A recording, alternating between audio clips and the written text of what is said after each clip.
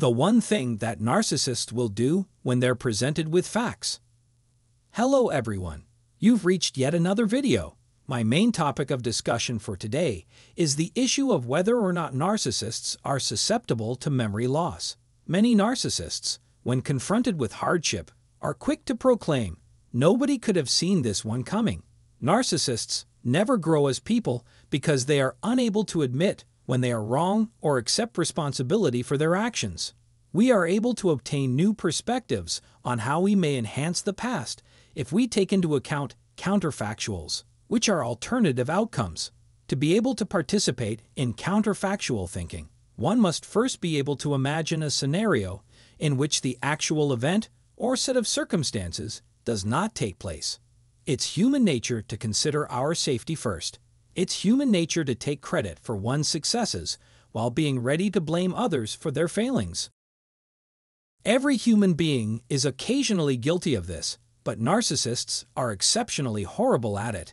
Not only do they not take the opinions of others seriously, but they also refuse to accept the opinions of those who do. A narcissist is continuously comparing themselves favorably to others. You're probably aware of all the foolish, harmful actions they take.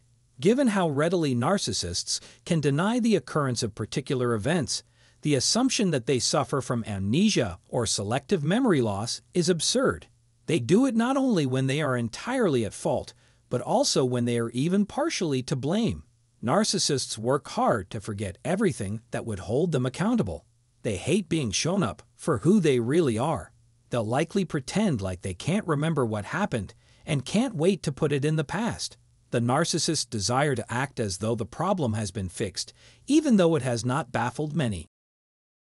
Tensions may rise if you bring up this issue, since it may seem like you don't want to move on or are trying to provoke an argument. Narcissists will never admit fault or provide a satisfactory resolution.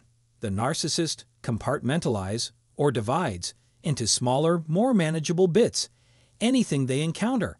In contrast to how they handle the wrongdoings of others, they store their own horrible deeds away in a separate section of their brain. First, let me say that the wrongdoings of a narcissist are filed away in the narcissist's forgetting, irretrievable part of the brain. Narcissists, on the other hand, have an insatiable memory for the wrongs of others. My experience with a narcissist suggests that this is a common method of operation for people of this type. If things aren't going well today, they can always go to bed early and wake up refreshed tomorrow. It is common knowledge that narcissists have selective memory and may only recall information that benefits them. Many narcissists become irritated because they believe your attempts to knock them down by reminding them of things they'd prefer to forget are actually an attack on their self esteem. In the minds of narcissists, their flaws aren't flaws at all. Thus, they have no trouble disregarding them. You'll get them thinking about something they'd rather not think about. Another thing I saw was how quickly narcissists asked for forgiveness once they screwed up. They both wanted to see each other again immediately and give each other a passionate hug. The narcissist doesn't care if you're struggling to recover from the emotional wounds they've inflicted. They'd like to kiss it out of existence because narcissists have no remorse for the harm they cause. There is little concern for the consequences of their acts on their part. Please forgive them and put the past behind you, they beg. They call you unforgiving and negative when you speak up, even though they know you're only standing up for yourself after being wronged. They prefer it if you act like everything is fine. Although they may not deserve your love, they nonetheless seek it Let's pretend you were in the narcissist's shoes and made a mistake or let them down. In such a scenario, you may rest assured that a thorough investigation would be conducted in which you would be asked to explain your actions and offer suggestions for improvement. A narcissist may also claim they require privacy to consider an issue properly. The punishment could be that they stop talking to you or that they start avoiding you because a narcissist will harbor ill will and seek retribution when the roles are reversed. You can always count on them to bring up the many occasions when you've let them down. Narcissists' obsession with themselves leaves little room for self-reflection or growth. All they can think about is the wrongs that were done to them, which suggests that the alleged amnesia they experience is highly selective. You can forget all the other wrongs you committed against a narcissist, but they will never forgive you for hurting their feelings. The hypocrisy and unfairness of a narcissist are often obvious.